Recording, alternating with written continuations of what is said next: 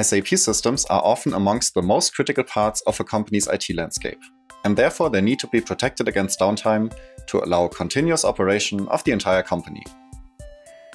Google Cloud can help you improve your SAP system's uptime and provide you with different options for designing high availability architectures.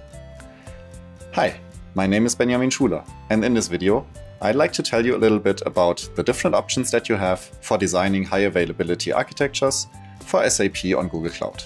Let's take a look.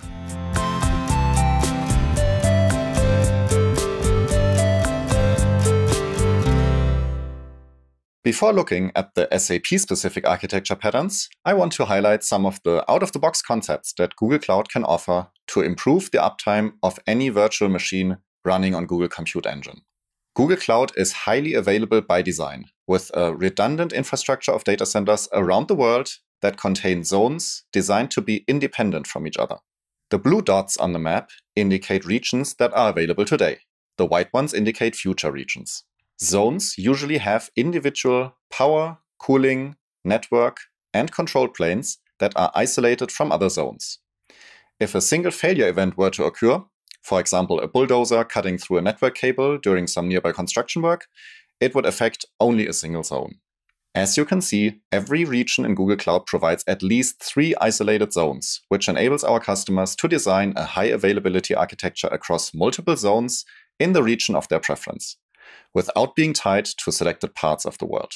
Since all of our regions offer multiple zones, the first step towards a proper high availability architecture in Google Cloud should be to distribute your instances across different zones within the same region. Our high performing network connection ensures that we can provide latency below one millisecond from one zone to another in the same region, which makes synchronous replication between systems a valid option without keeping your users waiting. Now that we have learned about the different regions and zones, let's look at some features that we can offer thanks to our virtualized infrastructure. When we need to perform maintenance on our infrastructure, Google Compute Engine automatically migrates your instance away from the maintenance event while trying to keep your application running without any downtime. We call this feature live migration. This happens without any user interaction and is a feature that we provide free of charge. The migrated instance is identical to the original instance, including the instance ID, private IP address, and all instance metadata and storage.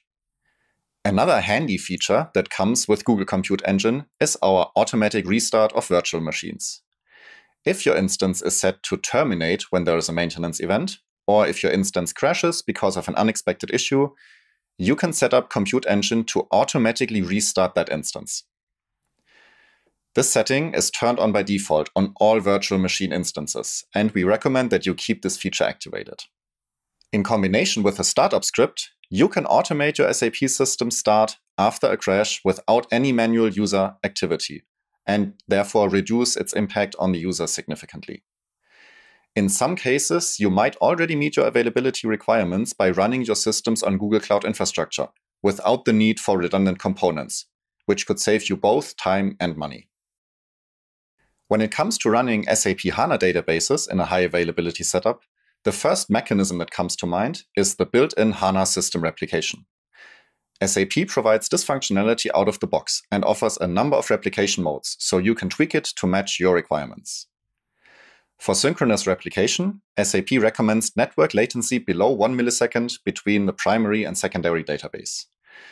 This means that you can deploy your two HANA instances in two different zones in any of our regions and protect your system against the failure of one zone while still meeting the requirements to run a synchronous replication between both instances in that same region. If you'd like to try such a setup for yourself, check out this link, which provides some additional information and also a template for our own automated infrastructure provisioning service, which is called Deployment Manager. This script will spin up two HANA instances in two different zones, then configure HANA system replication between them, and also set up a Linux cluster without any user interaction, fully automated in less than 30 minutes. Pretty cool, huh? For scale out HANA systems, so a scenario where multiple nodes are connected to form one combined database, you can deploy additional standby nodes that can take over in case one of the worker node fails. As you can see in this diagram, the data and log partitions of each node are attached to a single virtual machine instance. In our example here, worker node 2 is no longer available, and the standby node immediately takes over. The data and log partitions are detached from worker node 2 and mounted to the standby node. This is executed by a storage plugin that works together with the SAP Storage Connector API. The standby node can now function as a new worker node, and once the failed worker node is available again, it will act as the new standby node. With Google Cloud, you also have the option to run non-HANA databases. Check out our database planning and deployment guides behind this link.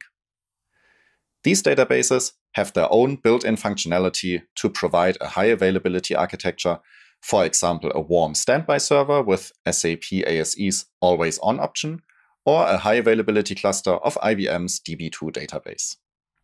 For your application servers, the first components that you probably want to protect against downtime are the central services. Similar to the database, these present a possible single point of failure and therefore should be protected.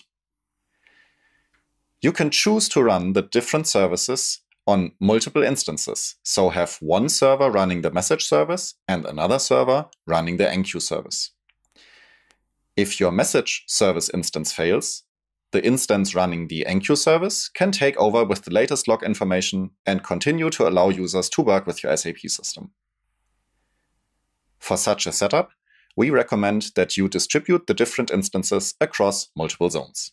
One of the benefits of running your SAP system on Google Cloud Infrastructure is the ability to provision new servers in a matter of seconds and to automate the entire installation process.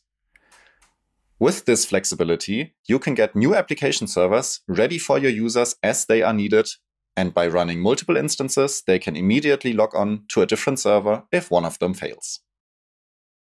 Okay, let's wrap up. As a general statement, it can be said that moving an SAP system from on premises hardware to Google Cloud infrastructure can improve the availability through built in concepts of the virtualization layer, like live migration and host auto restart, and therefore improve the uptime without any additional configuration. Downtimes caused by hardware failures can be reduced or even eliminated without requiring any custom activity. For the database layer, various concepts exist depending on the database system. Typically, these concepts are either based on a regular copy of the database logs to a standby system, or a set of database instances running in some sort of synchronous replication mode.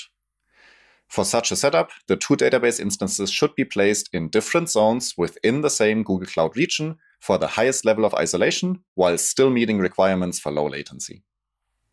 And finally, on the application layer, the SAP NetWeaver architecture can provide end users with multiple application servers to ensure the failure of one instance does not block all users from accessing the system, and that those who lose connection can log on via a different server immediately.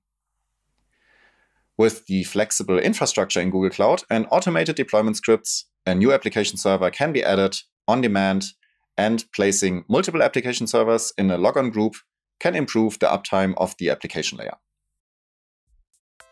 I hope this brief video has given you a better idea about the various high availability architectures on Google Cloud and what they mean for running your SAP workloads.